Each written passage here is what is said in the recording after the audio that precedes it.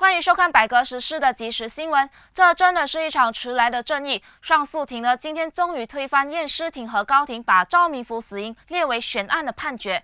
上诉庭的法官哈米苏丹认为，赵明福坠楼身亡是由身份不明的人士非法所致，而雪州反贪污委员会官员呢难辞其咎。他指示总检察长和全国总警长就此事展开调查，并对犯罪者采取适当的法律行动。二零零九年七月十五号下午时任雪州行政议员欧阳汉华政治秘书的赵明福被雪州反贪会的官员带走问话，隔天下午却被人发现赵明福沉尸在反贪会总部大厦五楼的露台。这一消息震惊全国。更多新闻，请继续留守百格时事。